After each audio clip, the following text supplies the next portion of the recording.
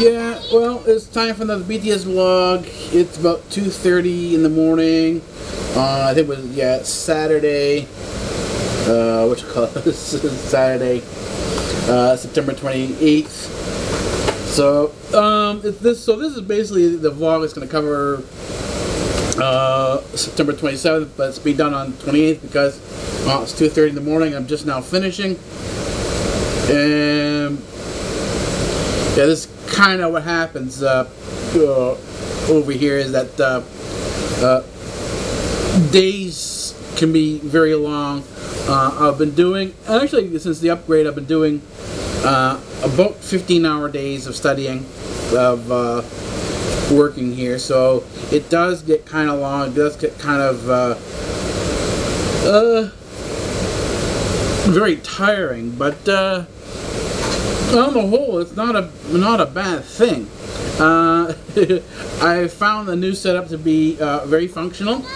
Uh, I'm getting back into the flow of things again, and I find that I can do a lot more work, get a lot more work done in that time period than I did before. So you know, that's what upgrades are supposed to do. Upgrades, although although they do take time to to to fix up, uh, the end result should be, if the upgrade is, is done properly, uh, that you're able to get more work done in, in that same period of time, or, or more work done, uh, you would say a shorter period of time, but uh, because you really can't uh, exceed, you know, really pushing it at 15 hours of studying, uh, that's sort of my upper limit.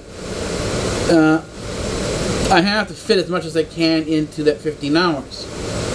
And what this upgrade has meant in terms of efficiency has meant that I've been able to get more done in the 15 hours than I normally would have been able to do uh, prior to the upgrade. So uh, that's where that's going.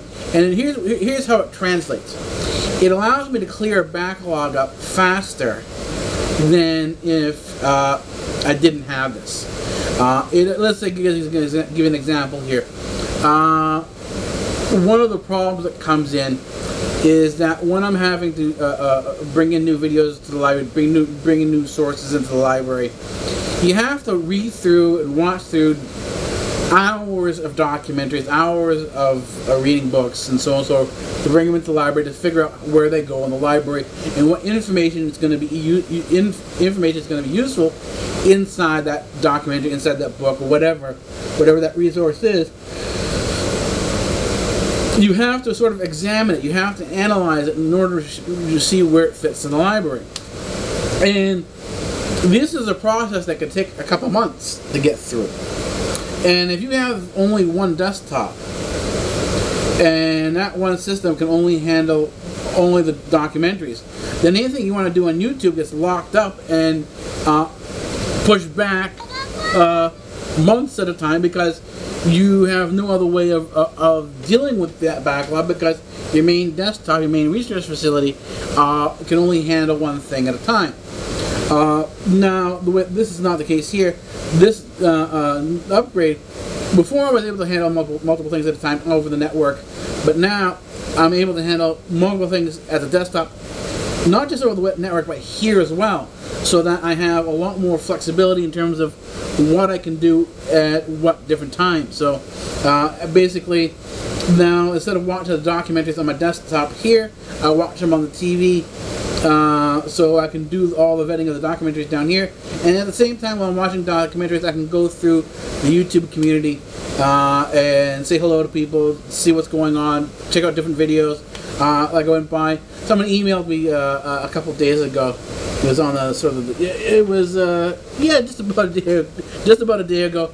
I got an email from this girl named Laura. She has a channel called Laurology. She is, I guess, a fan of uh, Morgan Pagelove's. And she saw that I was sort of hanging around Morgan Page Love's page and, you know, had put out a couple response videos. And she, she invited me to come over and sub to her page. So I did that. I went and subbed to her channel. I subbed to her page, uh, her channel. And sort of now to start going by there on a regular, on a more regular basis. Uh, but if uh, I didn't have the system the way I had the system.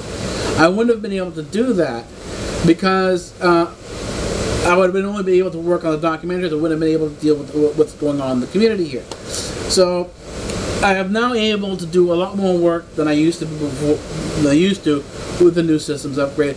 It also means that uh, I'm developing IPT in, in, in a lot uh, more realistic fashion now because I do have an IPTV system here so that uh, I can sort of gauge uh, uh, how much content I can actually view on IPTV. And I'm finding there's an enormous amount of content out there on IPTV. Uh, some of it open, some of it closed.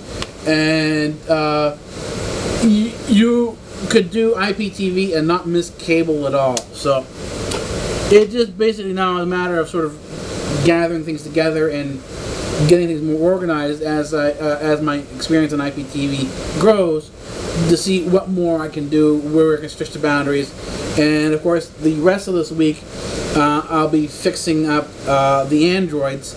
Uh, I've got two of them more or less done.